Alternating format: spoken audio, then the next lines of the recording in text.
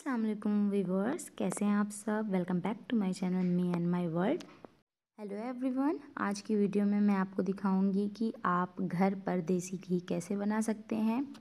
बहुत ही आसान होता है बनाना इसको घर पर।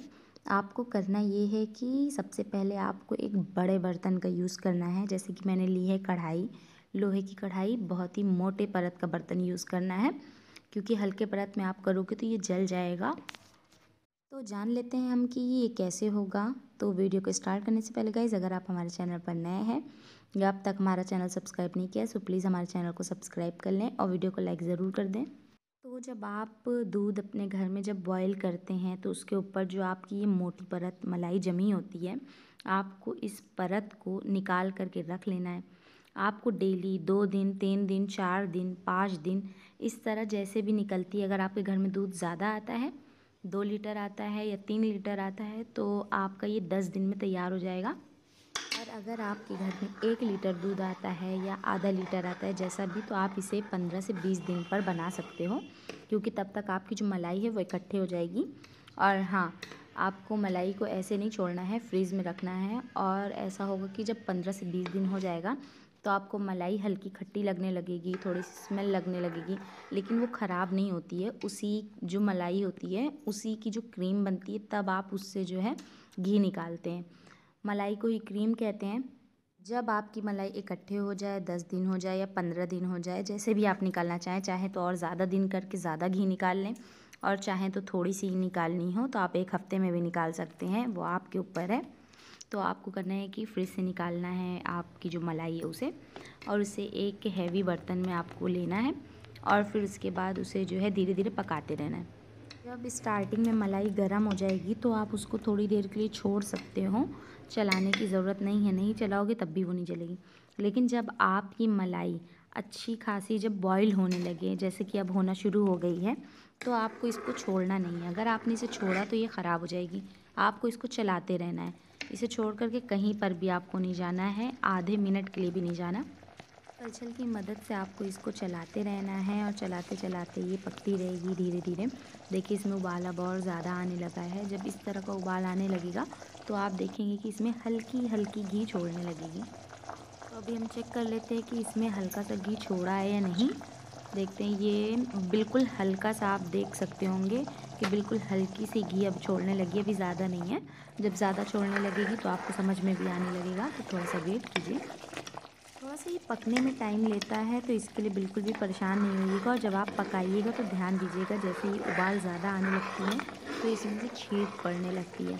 तो थोड़ा सा दूर रह करके इसे बनाएँ और हो सके तो बड़ी कलछल का यूज़ करें, क्योंकि बड़ी कलछल होगी तो आप दूर रह करके इसे बना लेंगे।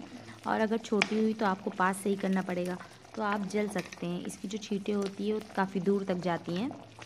स्टार्टिंग में छीटें नहीं पड़ती हैं, लेकिन जैसे जैसे घी छोड़ने लगता है, मलाई और घी बिल्कुल अलग अलग होने लगते हैं, तब छीटें पड़ने लगती हैं। और ये जो मलाई होगी आपकी, ये लास्ट में बिल्कुल ब्राउन हो जाएगी।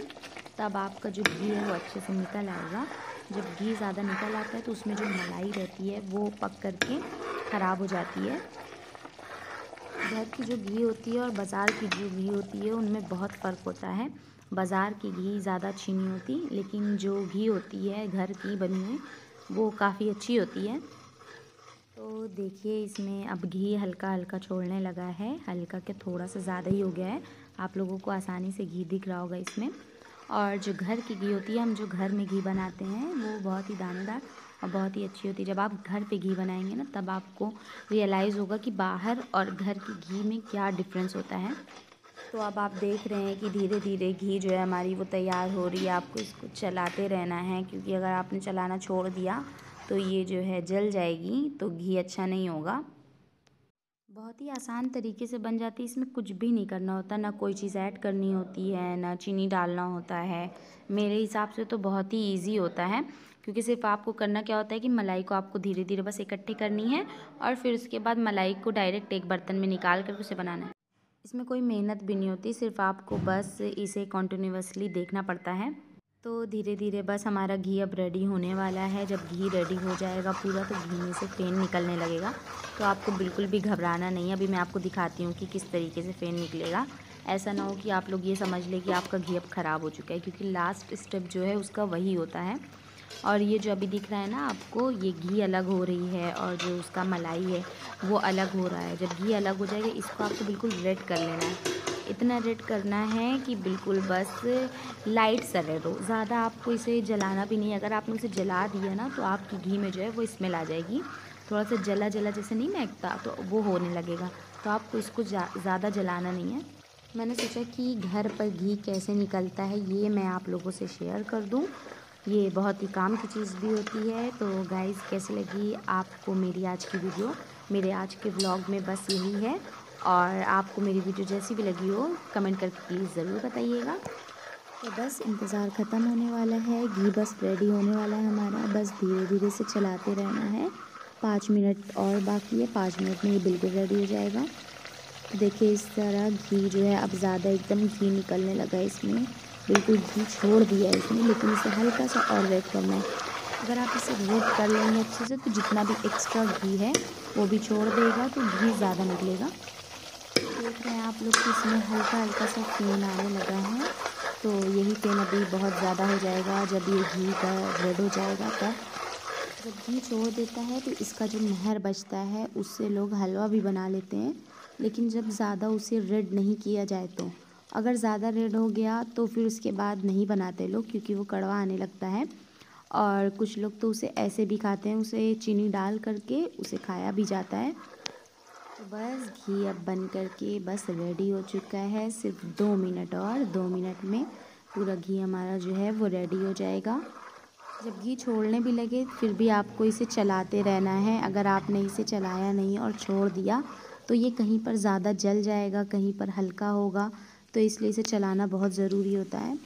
तो देख रहे हैं कि आप लोग इसमें बिल्कुल फ़ेन जो निकलने लगा, ये फ़ेन नहीं है, ये घी हमारा। तो अभी ये धीरे धीरे फ़ेन है, उबाल लेगा, फिर उबाल लेने के बाद ख़त्म हो जाएगा। आप देख रहे हैं, आपको बस इस तरह का रेड करना है। सिर्फ़ इतना पकाना है कि इतना रेड हो जाए। इससे ज़्यादा नहीं करना, इससे ज़्यादा आप करेंगे तो आपकी घी में जलने की स्मेल आने लगेगी। तो बस हमारा घी अब बन करके रेडी हो चुका है, बिल्कुल तैयार है। अब इसे छान लेंगे।